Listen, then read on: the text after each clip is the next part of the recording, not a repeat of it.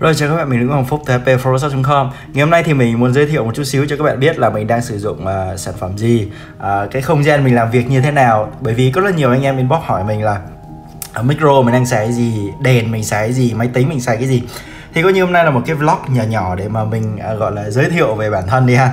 Thì uh, hôm nay mình không có máy gì hết cho nên là mình sử dụng cái uh, uh, iPhone của mình mình quay luôn ha.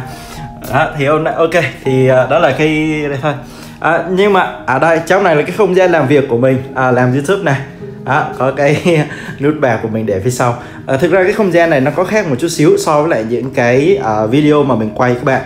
Bởi vì ít ngày vừa rồi thì mình có điều chỉnh lại chút xíu không gian cho nó rộng rãi ra. Thì ở đây đó đây là cái khu vực mình làm việc đây. Và như đây là ngồi cả ngày luôn. Đó thì đây là cái máy của mình. Tuy nhiên trước khi vô cái phần này mình muốn uh, giới thiệu sơ sơ qua chút xíu là ngoài cái vấn đề làm youtube ra thì mình có bán áo nữa. Thì cái link thì mình sẽ để ở ngay đây. Đó anh có thể vô coi thử chơi cho vui bởi vì áo nam áo nam áo thun nam thì mình nghĩ là chắc anh em cần. Ok thôi uh, bỏ qua phần quảng cáo đi nhá. Bye bye. Thì ở đây là phần chính của mình. À, đây là những thiết bị mà mình sử dụng. Um, youtube thì mình làm rất là đơn giản thôi. Phần mềm thì mình sử dụng phần mềm là camtasia. À, mình ngồi đây. Đây à, anh em đang thấy cái view mà mình thấy cả ngày. À, hầu như là 24 7 à, trên 7 ngày 365 ngày là đủ luôn á là mình ngồi cái view có như thế này. Đó thì góc làm việc của mình như thế này thôi bởi vì ngồi đây mình có thể coi ra ngoài được đó mình coi ra ngoài được. Thì đây à, đây là góc làm việc ha. À, máy thì mình đang sử dụng một con máy MacBook à, Pro năm 2013 đời 2013 nha. Cái đời này thì mình cái cái máy này thì mình mua đâu rồi mình sẽ uh, mở cái ờ, đó đây là cái máy của mình này. Đó 10 built-in display overview rồi. Đây. Đang sử dụng cái Retina 15 inch à, đời 2013 LED 2013 i7 à, 2.3 g i7 này chắc i7 đời 2013 luôn. Kiểu đời 3 hay là gì đó. Rồi à, RAM thì 16 g RAM à, 1600 và hai card đồ họa bởi vì một card onboard à, đây là card tích hợp Intel Iris Pro tích hợp và một cái card à, rời là GeForce GT 750 2GB thì đơn giản như vậy thôi. À đúng rồi còn storage à, cái cái ổ đĩa thì mình đang sử dụng là ổ đĩa SSD 1T à, đây là cái cấu hình cái máy mà mình mua khoảng cỡ hơn một năm hơn một năm trước rồi. À, trước đây thì mình sử dụng một cái máy khác cơ. À, nó đây. Ừ, các bạn có thể thấy là bây giờ mình đã đặt nó nằm cạnh ngay bên cạnh cái thùng rác luôn rồi thì hiểu rồi. Có nghĩa không thực ra cái máy này sử dụng rất là ok vẫn sử dụng ngon lành. Nhưng mà bởi vì mình xài mac mình mua macbook xong á cái là cái pc cái cái máy windows này mình bỏ xó luôn. Thì bao gồm vẫn còn màn hình bàn phím chuột rồi máy móc các thứ còn đầy đủ. Thực ra cái máy này mình build thì cũng khoảng đầu năm à, khoảng đầu năm 2018 thì mình sử dụng khoảng cỡ một năm đó, sau tới đầu năm 2019 thì mình mua này. Và mình mua này xong rồi mình là mình bỏ xó luôn con này luôn hầu như mình không đụng tới nữa. Lâu lâu bật game lên chơi thôi. Còn lại thì hiện tại mình cũng đã bỏ game rồi cho nên là mình đã sử dụng cái máy này thôi. Đó. À, các bạn có thể thấy là đời 2013 nhưng mà thực tế con này mình xài mình thấy rất là ok rất là mượt. Bởi vì nói gì nói nó vẫn là max option. À, thì uh, mua con này thì lúc đó mình mua khoảng cỡ 19 triệu 19 triệu thêm mấy cái thứ linh tinh các thứ đồ cho coi như là 20 triệu đi. Đó rồi à, một lần mình thay pin nữa khoảng mấy trăm nghìn nó bảy mình nhớ là không làm loanh quanh nó 700 thì phải. Đó thì thay pin lại cho nó ngon lành hơn. Thì ở đây mình đang à, đang làm lại cái poster của cái shop của mình ở ngoài thôi. À, uh, gaza.vn rồi ok. Ngoài máy tính ra uh, phần mềm thì mình sử dụng một cái phần mềm tên là Camtasia. Đây Camtasia uh, 2018 à, lý do mình sử dụng phần mềm này á, là bởi vì khi mà mình à, quay màn hình bằng cái phần mềm này á thì nó cho mình à, quay cùng lúc à, vừa cái máy mà vừa cái camera của mình luôn. Đây. Đó thì đây là mình đây là mình đây đang coi đây. Đó nó đó. Thì à, vừa quay màn hình này có thể quay được full hết luôn. À, màn hình này thì à, 2k 3k gì đó thì cho nên nó lên được tới 2878 x 1800 à, camera thì đây đó mình có thể quay trực tiếp luôn. Đó hello. Và micro thì mình sử dụng micro này. Đó Rode NT USB thì uh, sẵn đang nói micro thì đây là con micro mà mình đang sử dụng. Trước đây thì mình sử dụng một cái con micro khác Testa uh, 100 USB thì uh, sau này thì uh, mình cái cái micro đó là micro Trung của, à, micro Trung Quốc cho nên là xài được khoảng cỡ thời gian khoảng vài tháng thì nó không còn ngon như lúc mới mua nữa cho nên là có một số video trước đây các bạn cảm thấy nó rất là rẻ là bởi vì mình sử dụng cái micro đó. Còn sau này á khoảng cỡ nửa năm nay thì mình sử dụng con micro Rode NT USB này.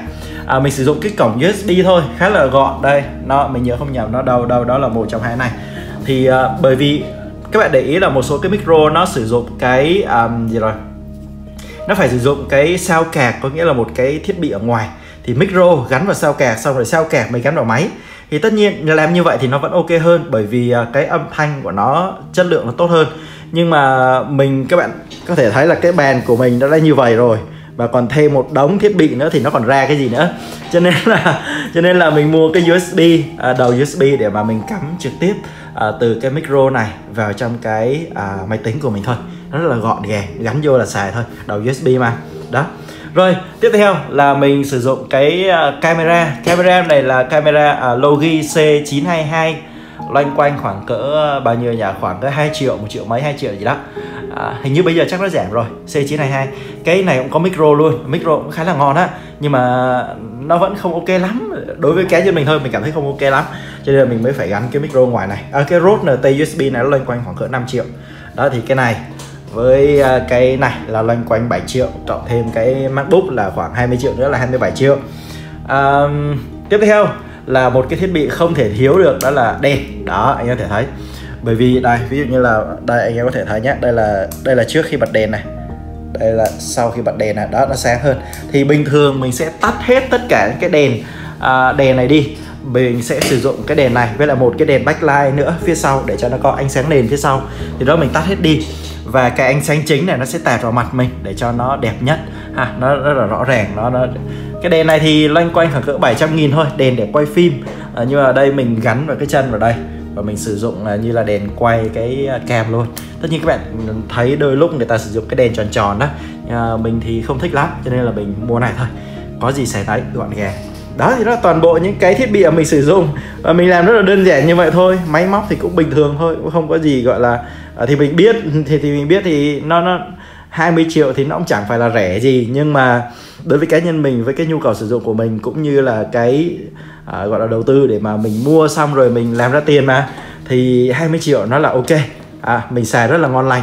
Đời hơi cũ chút xíu có thể có người nói mình chơi ngu nhưng mà đời cũ chút xíu nhưng mà cá nhân mình cảm thấy rất, rất là mượt rất mượt luôn. Hầu như không có lag không có bất cứ một cái vấn đề gì cả. Cho nên là 20 triệu này xứng đáng ha. Nhưng mà nếu bây giờ các bạn mua thì mình khuyên các bạn mua đời 2015 thì nó ok hơn. 2013 nó cũ quá rồi. Thì sau này nhiều khi các bạn xài thì bán lại nó hơi khó. Thì ờ, uh, như con máy này Windows thì dễ thôi. Con máy này thì Win à, uh, i5 cái này là i5 đời 7 thì phải i đời 6 đời 7 gì đó. RAM là 16 GB hay là 32 GB mình không nhớ hình như 16 GB xong rồi uh, SSD 256 2T uh, HDD rồi uh, đó uh, RAM rồi các thứ rồi cọt xe hết mấy cái nhãn hiệu cọt xe hết nguồn cũng cọt xe. Menbo thì của gì đó mình quên mất tiêu rồi. Thì chắc sắp tới mình sẽ rao bán cái máy này thôi bởi vì để đây cũng không dùng gì tới thì nó cũng hơi uổng. Đó bán đi kiếm tiền lấy vợ thôi anh em. Đó thì đó là toàn bộ về cái góc làm việc của mình. À, anh em có thể thấy là nó khá là đơn sơ đơn giản thôi ha.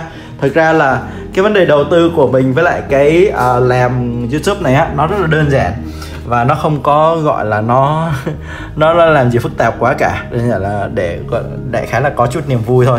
Cho nên là nếu như anh em là muốn làm youtube anh em cần kinh nghiệm làm youtube thì anh em có thể nhắn tin cho mình. À, rảnh rỗi nhiều khi nói chuyện bởi vì thời gian này thì bán hàng nó hơi ế. À, bán áo cũng ế và bán preset cũng ế cho nên là mình có nhiều thời gian mình nói chuyện với anh em. Có gì thì cứ nhắn tin trên fanpage inbox trên fanpage của mình nhé.